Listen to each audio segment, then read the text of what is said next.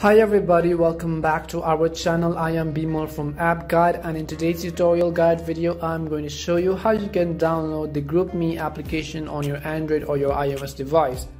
First of all, if you are new to our channel then do make sure to leave a like, comment and subscribe and also make sure that you turn on the bell notifications in order to get notified whenever we post a new content or video to our channel. So without any further ado, let us get started. Now first of all what you want to do is make sure that you actually have a very reliable internet connection.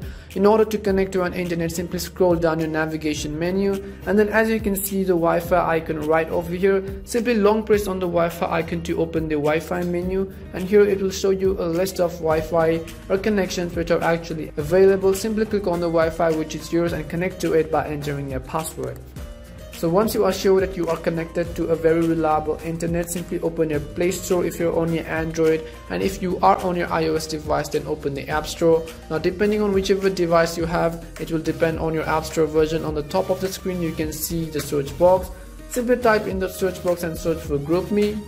Once you search for GroupMe, you can see the application GroupMe in the hashtag icon which comes up. Now if you're on your Android device, you will see a green install button right over here like mine. And if you are on your iOS device, you will see a cloud-like icon. Simply click on the icon to verify the download using your Apple ID password or whichever security method you have.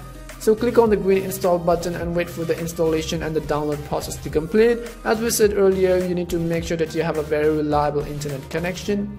Wait for the application to be downloaded and once the download process is complete, it is going to take some time to install the application. Be patient and wait for the installation process.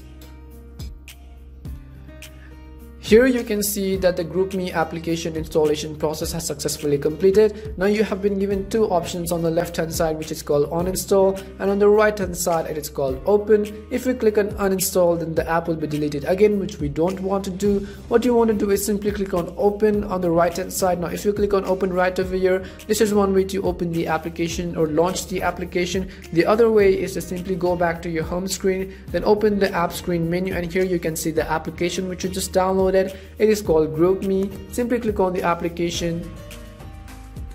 And if you have not yet registered an account on the bottom of the screen you can see two options such as login or sign up. Now in order to create an account simply click on sign up and follow all of the details accordingly. You can create an account using email, Google or Facebook or also with your Microsoft account or else you can go back and click on login if you already have an account then simply log in with your Microsoft, Facebook or Google account or also your email or your phone number.